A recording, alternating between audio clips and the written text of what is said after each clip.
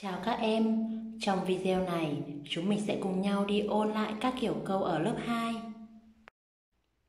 Ở lớp 2, chúng mình đã được học 3 kiểu câu đó là câu giới thiệu, câu nêu hoạt động, câu nêu đặc điểm.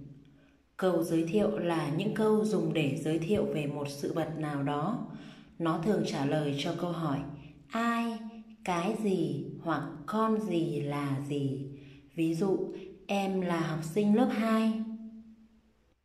Trong câu giới thiệu thường có từ là Câu nêu hoạt động là những câu dùng để nêu lên một hoạt động nào đó.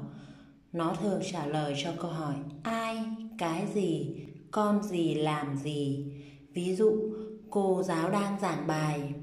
Trong câu nêu hoạt động thường có các từ chỉ hoạt động Câu nêu đặc điểm là những câu dùng để nêu lên một hay một vài đặc điểm của sự vật nào đó. Nó thường trả lời cho câu hỏi ai, cái gì, con gì, thế nào. Ví dụ, bạn Nam rất thông minh. Trong câu nêu đặc điểm thường có những từ chỉ đặc điểm. Video này đến đây là kết thúc rồi. Cảm ơn các em đã đón xem.